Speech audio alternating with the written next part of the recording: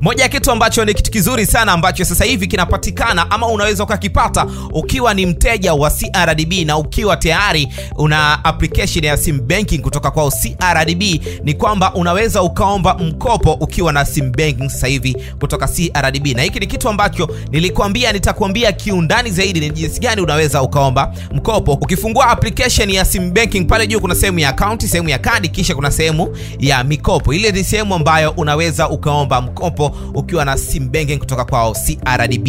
Kuna sehemu ambayo imeandikwa omba mkopo kama unahitaji kuomba, lakini kuna sehemu ambayo imeandikwa lipa. Ukiwa tayari sasa umeomba mkopo na unataka kulipia, unaingia hapo, unafuata hizo process, unalipa. Alafu kuna sehemu ya historia, unaangalia mikopo yako ambayo uliomba ama e, umeomba umeshalipa. Kama bado umeomba lakini bado hujalipa, unaangalia pia. Lakini pia kuna sehemu ambayo imeandikwa vigezo vya huduma, ni watu gani ambao wana vigezo vya kupata hiyo huduma ya kupata e, mkopo kupitia sim banking. Hii mikopo ime, imewekwa katika makundi ya watu watatu. Kuna wale wafanyakazi ambao wanafanya kazi lakini mishahara yao inapitia CRDB, hawa wanaweza wakaomba eh, mkopo. Lakini pia kwa wale wanafunzi ambao wanapokea bomu na bomu zao zinapita kupitia akaunti zao za CRDB, hawa pia wanaweza wakaomba mkopo. Na wale watu ambao wanapokea pension na pensheni zao zinapitia CRDB, hapa pia wanaweza wakaomba mkopo. Sasa hiki ni kitu ambacho nilihitaji kuongea kiundani zaidi, ni kitu ambacho nilihitaji kukaa na mtu ambaye ataweza kuniambia kiundani zaidi ili niweze kuelewa, lakini wewe pia uweze kuelewa na jinsi gani hiyo mikopo ilivyo. Na hapa pia ikanibidi nikae tena na bwana Adili Steven kutokea CRDB, mkuu wa kitengo cha wateja binafsi, ili kuweza kuniambia kiundani zaidi kuhusu hii mikopo, niweze kuelewa kwa kina, lakini pia hata wewe uweze kuelewa kwa kina zaidi. ya kama nilivyokuambia sisi tumemwangalia mteja kwanza ukiangalia mfanyakazi mara nyingi anapata hela mwisho wa mwezi kwa maana ya mshahara wake lakini siku tano mpaka kumi baadaye anakuwa hana hela yoyote. Kwa hiyo anaingia kwenye madeni ya mtaani ambao wakati mwingine ni aibu. Unamwomba mtu huyu hana huyu hana huyu hana. Kwa hiyo tukasema ya kwamba kwa nini mfanyakazi ambaye ana benki ya crdb apate shida kama hii na wakati benki yake kwa hiyo sisi ndo tunaingia pale kwamba huhitaji kwenda benki, huhitaji kujaza fomu, wala huhitaji kwenda kwa mtu yoyote ili akusaidia kufanya hili jambo. Kwa hiyo hii ni ya ni mfanyakazi aliyoajiriwa, Yes. lakini mshahara wake ambao unapitia kwa CRDB. Sawa sawa kabisa.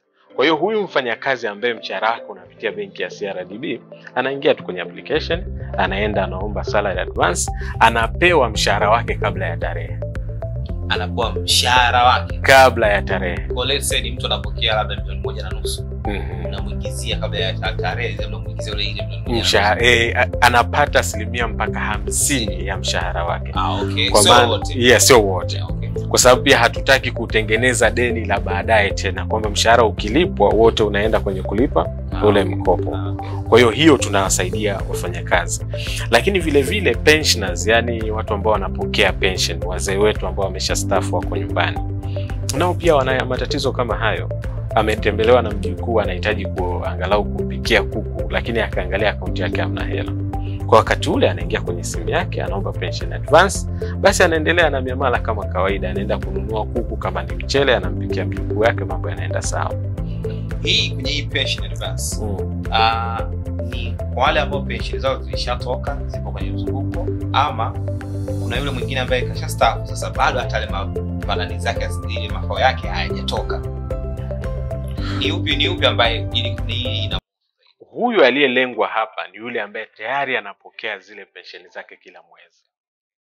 Kwa hiyo sisi katikati ya mwezi anapokuwa ana shida basi tunamwambia atumie simu.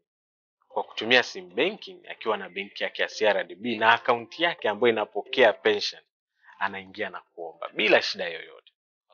Lakini vile vile kama atahitaji mkopo wa muda mrefu kama milioni kumi ishirini thelathini kulingana na kiasi ambacho ana uwezo nacho basi vile vile anaweza kwenda branch kuomba. Hiyo Branch. eh, hiyo haipo hapa. Na sehemu ya tatu sasa ni boom advance. Boom advance ukisema boom kwa wanafunzi kila mmoja anaelewa kwamba ni ile ambayo inalipwa na uh, bodi ya mikopo. Lakini tunaelewa pia kwamba wanafunzi wengi wanakuwa kwenye shida kabla ya boom halijatoka. Na kipindi cha nyuma tumekuwa na matukio mpaka ya watu sasa sisi hatutaki mwanafunzi wetu ambaye ana akaunti ya benki ya crdb apate shida wakati anasubiri bumu lake. Wakati anasubiri anaingia kwenye simu yake. Anachukua mpunga anaweza akaendelea sasa kujikimu, kama ana daftari za kununua, ana chakula, sijui ana mahitaji kama sabuni, dawa ya mswaki na vingine, inakuwa ni rahisi tu. kwa nyinyi mnachofanya mnaangalia bwana huyu uh, snash uh, boom yake inaingia.